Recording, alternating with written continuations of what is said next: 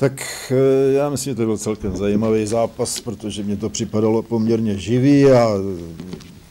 eh, nepostrádalo to eh, jako situace před brankama. Nevím, jestli tam byly nějaký, nebo jaký jsou nějaké statistiky, kolikrát kdo kde vystřelil a podobně, ale jako i přes ty, přes ty možnosti na jedné nebo na druhé straně, tak to stejně vypadalo, že to je utkání, který rozhodne jeden gol, takže my jsme rádi, že, že jsme ten gol dali my, protože jsme na,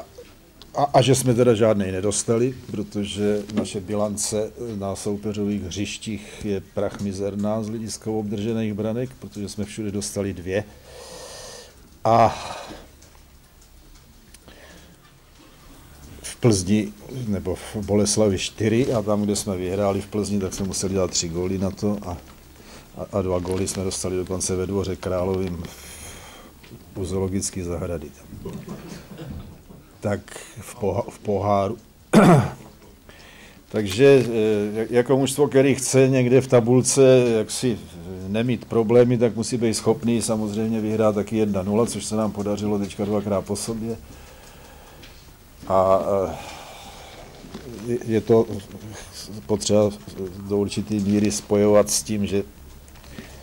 že začal hrát na, na stoperu Kelič a přitom moje 18 roku. Tak já si taky myslím, že to bylo živý utkání, plný soubojů, rušných situací před brankou. Samozřejmě my jsme chtěli do utkání stoupit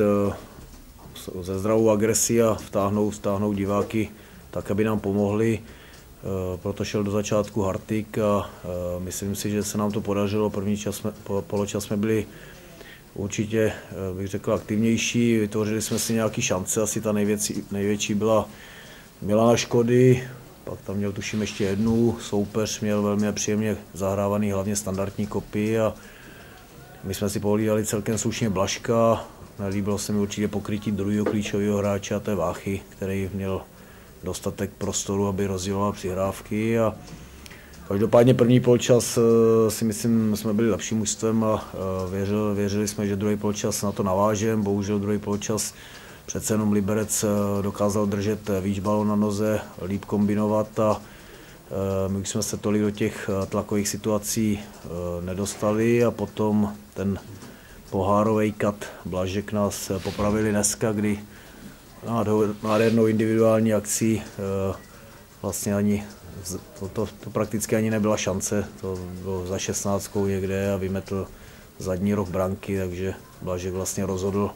o tom utkání, který, tak jak říká trenér, eh, smrdělo prostě jedním gólem, my jsme ho dát nedokázali, Blažek ano a jenom škoda, že je to takový pako, protože už asi dávno mohl hrát za reprezentaci.